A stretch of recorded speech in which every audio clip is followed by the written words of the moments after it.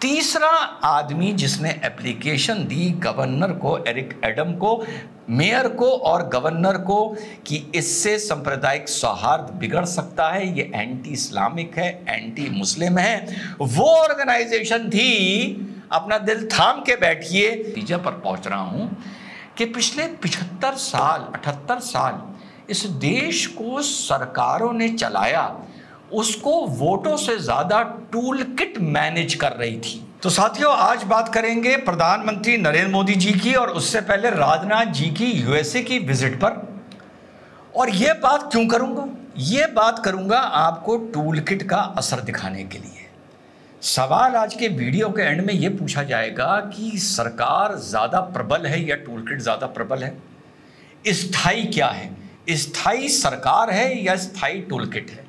America में नरेंद्र मोदी जी की visit में जो शान शौकत, जो प्रोटोकॉल फॉलो किया जा रहा है, उस पर भी चर्चा करेंगे। और साथ ही साथ एक अमेरिका से जो दूसरी टूल किट के असर की खबर आई है, वो भी चर्चा करेंगे। और ये टूल किट कामयाब क्यों हो रही हैं, ये भी हिंदू भाइयों, आप लोगों को आखिर में बताऊँगा। और टूल किट की बेशर्मी तो ये है कि ममता अपने ही राज्य में इस बच्ची के बलात्कार और हत्या को लेकर पद यात्राएँ कर रही है और प्रोटेस्ट कर रही हैं।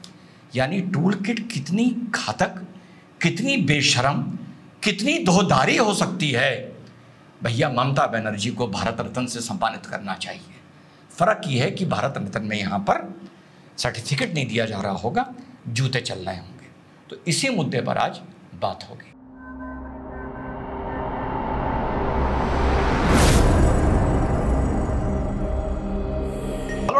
नमस्कार, सत श्रीकाल वालेकुम। कैसे हैं जनाब? जब बांग्लादेश पर एक वीडियो बनाया था तो एक हमारे भाई अनिल लिखते हैं don't worry Modi ji will find a solution which you can't even imagine and you will make another video on that matter solution just wait and watch नहीं, अनिल, बड़ा कॉन्फिडेंस है। अपनी ईमानदारी पर, अपने कन्विक्शन पर, अपनी पढ़ाई पर, अपने विश्लेषण पर बड़ा कॉन्फिडेंस है। अगर बता दिया बांग्लादेश में सोल्यूशन नहीं है, फ़िलहाल तो नहीं है। और किसी ने पूछा मुझसे कि, sir what is the reason कि हम फोर्थ लार्जेस्ट आर्मी हैं और आप कह रहे हो सोल्यूशन नहीं है? तो इसका कारण है, इस देश की जो सबसे बड़ी कमज़ोरी है, जो एक हज़ार साल से रही है, वो है यहाँ का टूल किट जो एक हज़ार साल से सरवाइव कर रहा है और लगता है आगे भी करता रहेगा। और दूसरी बात, जहाँ सोल्यूशन है बंगाल में, वेस्ट बंगाल में, वो आपके भाई ने बता दिया था। तो आज बात करने का जो मूल सवाल है वो ये है कि टूल किट ताकतवर है या सरकार? और दूसरा आज के वीडियो का मूल सवाल ये है कि स्थायी क्या है? क्या सरकार स्थायी है या टूल किट स्थायी है? मैं अपना आपको सबमिशन दे दूँ वीडियो बनाने से पहले कि पिछहत्तर साल में जो लगभग साठ साल एक ही परिवार, एक ही विचारधारा ने रूल किया मुझे अब ऐसा रियलाइज़ हो रहा है रिट्रोस्पेक्ट में आके as an analyst as a student as a scholar as a research person कि यार, वो नीतियों के नहीं, वो टूल किट के दम पर सरवाइव कर रहे थे। और अभी भी वो टूल किट के दम पर ही सरवाइव कर रहे हैं और आने वाले वक्त में वो नीति या नेता नहीं, बल्कि शायद टूल किट के दम पर ही शायद कभी आने वाले समय में वापस बाउंस बैक कर कर लौट के आएँगे। और जो जनसंघ की आइडियोलॉजी इतने दिन सत्ता से बाहर रही और सत्ता में आने के बाद भी करीबन आठ, साढ़े आठ साल बाद समस्याएँ खड़ी होनी शुरू हो गई परसेप्शन की, जिसका असर हमें काफ़ी हद तक 2024 में देखने को मिला। तो क्या ये मतलब तो नहीं है कि जो जनसंघ आइडियोलॉजी है या जो राइट विंग आइडियोलॉजी है, इसकी सबसे बड़ी कमी है कि ये टूल किट ऑर्गेनाइज नहीं कर पा रही है। तो साहब, मोदी जी का अमेरिका में दौरा ड्यू है। इससे पहले राजनाथ जी अमेरिका जा रहे हैं। मोदी जी के रशिया विज़िट से लेके जो थोड़ी बहुत कंपन आई है यूएसए और इंडिया के रिलेशनशिप में, उसको सुना है थोड़ा संवारने भी जा रहे हैं और इंडो पैसिफिक को लेकर कुछ एग्रीमेंट्स होने जा रहे हैं या कुछ चर्चा होनी जा रही है। इसके बाद यूएसए में विज़िट डिक्लेयर हुई है प्राइम मिनिस्टर नरेंद्र मोदी जी की। हाईएस्ट प्रोटोकॉल दिया जा रहा है नरेंद्र मोदी जी को। State guard of honour White House पे नरेंद्र मोदी जी लेंगे। उसके बाद इंडो पैसिफिक को लेकर आगे की रणनीति बनाई जाएगी। जैसा बांग्लादेश के लिए उस दिन मैं आपको बोल रहा था कि इससे पहले जो अमेरिका था, वो पैसिफिक और साउथ चाइना सी को लेके अपनी नेवल पॉलिसी बनाता था। लेकिन चाइना का, जो चाइना ने में, ने एक रेवोल्यूशन आया, चाहे उसको आप इंडस्ट्रियल रेवोल्यूशन बोलें, चाहे मिलिट्री रेवोल्यूशन बोलें, चाहे बीआरआई बोलें तो अमेरिका का ध्यान इंडो पैसिफिक की तरफ़ आया है। और जैसा मेरा पहले भी मानना था, बांग्लादेश, शेख हसीना के मामले में I stick to my stand ये जितनी भी विज़िट हो रही है, आप स्क्रीनशॉट लेके इसको देख सकते हैं। केंद्र इसका इंडो पैसिफिक है। और मैंने जैसा बोला था बांग्लादेश के टाइम पर कि मुझे नहीं लगता कि साउथ चाइना सी पैसिफिक के साथ बिना इंडिया के सपोर्ट के अमेरिका चाइना को इंडो पैसिफिक में प्रॉपरली चैलेंज कर सकता है। तो अमेरिका अभी स्थिति में नहीं है कि इंडिया के बिल्कुल बगल में बेस बनाकर वो इंडिया को इंटिमिडेट या नाराज़ करे। तो पूरा जो यूएसए में मोदी जी का विज़िट और स्वागत होने जा रहा है, बीबीसी लिख रहा है, the red carpet is being unrolled for Narendra Modi. ये बहुत गर्व की बात है और बहुत खुशी की बात है। लेकिन ये क्या स्थायी बात है या अस्थाई बात है? मैं कहता हूँ, ये अस्थाई बात है, क्योंकि ये पॉलिटिक्स से जुड़ी हुई है, और पॉलिटिक्स में चाहे देश हो, चाहे विदेश हो, चाहे फॉरेन डिप्लोमेसी हो, मौके के चौके होते हैं। They are no permanent bedfellows except Bharat का रिलेशन रक्षा के साथ और भारत का रिलेशन इसराइल के साथ। मुझे लगता है सारी फॉरेन पॉलिसी अपने अपने हिसाब से करवट लेती है। मालदीव्स में आप देखिए, जो कहते थे इंडिया आउट आज वो कह रहे हैं इंडिया इन तो ये सब मुझे ये सारी बातें अस्थाई लगती हैं। पर स्थायी लगता है टूल किट अमेरिका में India day parade New York में ऑर्गेनाइज करी जा रही है। अब मैं पॉलिटिक्स से टूल किट की तरफ़ आता हूँ। अमेरिका में न्यूयॉर्क में इंडिया डे परेड विश्व हिंदू परिषद ऑर्गेनाइज कर रहा है। तीन दिन का ये कार्यक्रम चलेगा। इसमें एक झांकी झांकी तैयार करी गई। राम मंदिर को लेकर एक झांकी तैयार करी गई।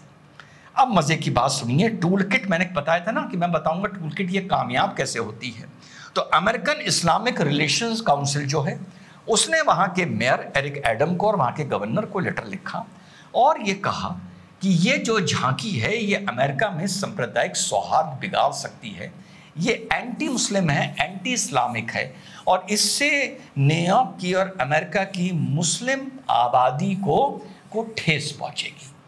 कंट्रीब्यूशन की बात करें तो अमेरिका में जो वहाँ पर माइग्रेट करके मुस्लिम्स गए हैं, या जो माइग्रेट करके नॉन मुस्लिम्स गए हैं, इनके कंट्रीब्यूशन को लेके कोई कंपैरिजन नहीं है।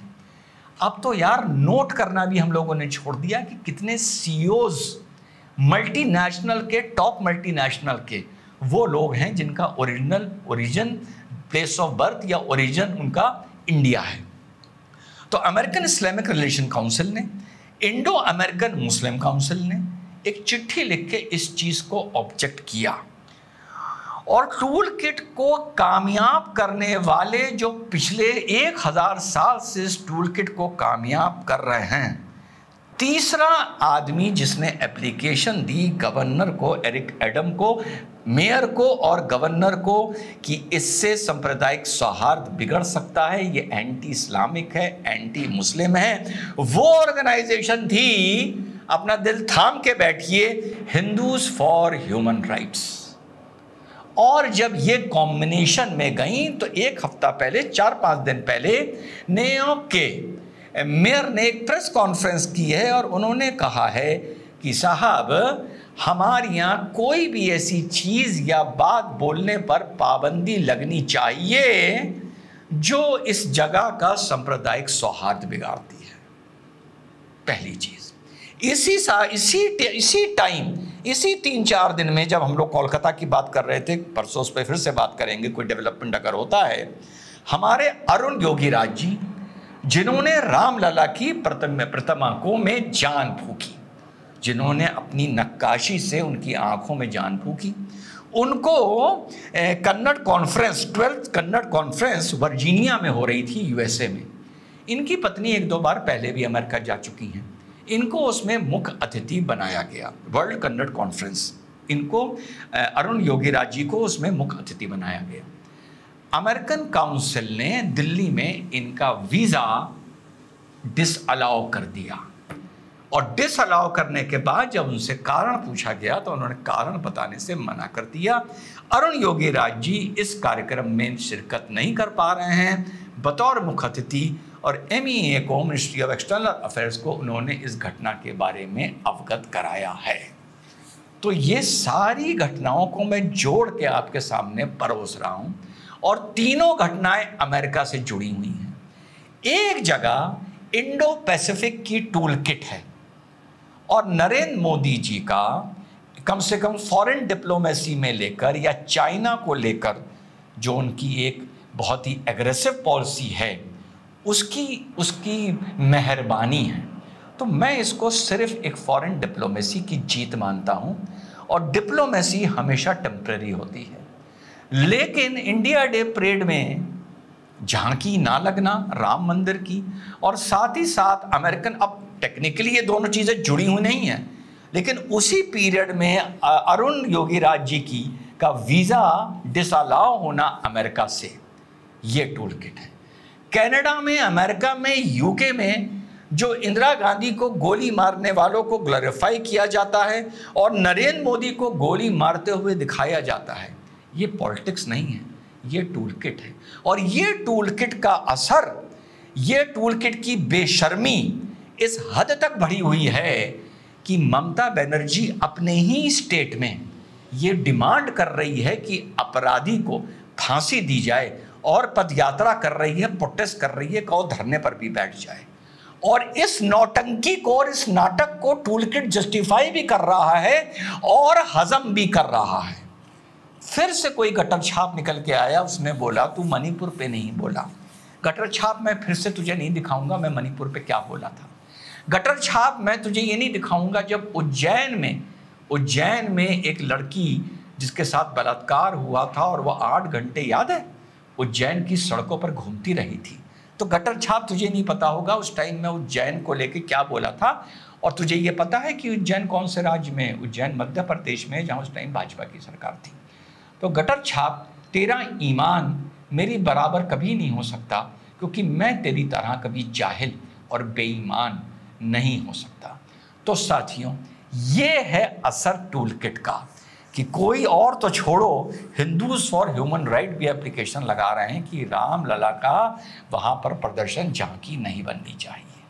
और यही टूल किट का असर है, मुझे अब लगने लगा है कि जो 55 साल इंटरनेशनली ग्लोबली फलाना फलाना देश की राजनीति तीन सौ छप्पन बार बार इस्तेमाल करके भी कामयाब होना, मुसलमानों को राइट्स में मार मार के तबाह कर देना, लेकिन मुसलमानों के करीब बने रहना, पंजाब में आतंक को इंट्रोड्यूस करवाना गोल्डन टेंपल में अंदर आमद कार चलवाना, अकाल तख्त का में अंदर घुसकर हाहाकार मचा देना। मैं अक्सर बोलता हूँ आहाकार। तो एक साहब है जो बार बार करेक्ट करने आ जाते हैं। रिजवान सर, वो आहाकार नहीं होता, वो हाहाकार होता है। माने वहाँ पर गुरुद्वारे में, स्वर्ण स्वर्ण गुरुद्वारे में, अब तो शायद मंदिर बोल दूँगा तो कुछ लोग नाराज़ हो जाएँगे, ये भी एक टूल किट का हिस्सा और अकाल तक का। वहाँ वहाँ पर ऐसी की तैसी कर देना। दिल्ली में एंटी सिक्स राइट्स करवा देना। और उसके बाद फिर पंजाब में अपनी पॉलिटिक्स मज़बूत कर देना। तो मैं इस पूरी घटनाक्रम को देखकर आज लगभग एज अ कमेंटेटर एनालिसिस नतीजे पर पहुँच रहा हूँ, कि पिछले पिछहत्तर साल, अठहत्तर साल इस देश को सरकारों ने चलाया, उसको वोटों से ज़्यादा टूल किट मैनेज कर रही थी। और वहाँ पर मात्र आठ साल की सरकार के बाद मैं 2024 से थोड़ा पहले भी जा रहा हूँ 2023 से उठा रहा हूँ जनसंघ, भाजपा, नरेंद्र मोदी की सरकार इसी टूल किट के आगे लड़खड़ाती नज़र आ रही है।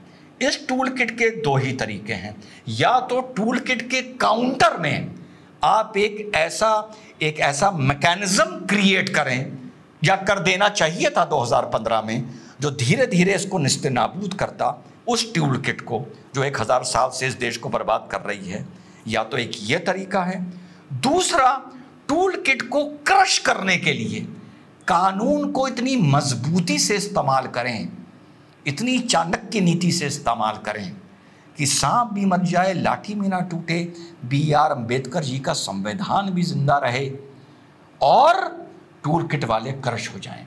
तो यही दो चीज़ें हैं जो फ़िलहाल मुझे नज़र आ रही हैं कि गवर्नमेंट को करनी चाहिए। या तो इस टूल किट का काउंटर टूल किट से करिए, बहुत ही इफ़ेक्टिव टूल किट बनाकर या इस टूल किट को क्रश करिए। फ़िलहाल जब मैं ये वीडियो आप मेरा आज शाम को अभी देख रहे होंगे तो फ़िलहाल इन दोनों मोर्चों पर मेरे हिसाब से सरकार खरी नहीं उतर रही है। They should pull up their socks और इन दोनों में से कोई एक हथकंडा इनको अपनाना चाहिए। अगर दोनों अपना लें तो ऑल द मोर गुड अगर कोई ना अपना पाए तो फिर से वो जो पचहत्तर साल में जिस टूल किट ने पचपन साठ साल गैर जनसंघ सरकारों को शासन करवाया है, वो आने वाले वक्त में वापस बाउंस बैक कर सकते हैं। जय हिंद, वंदे मातरम, खुदा हाफ़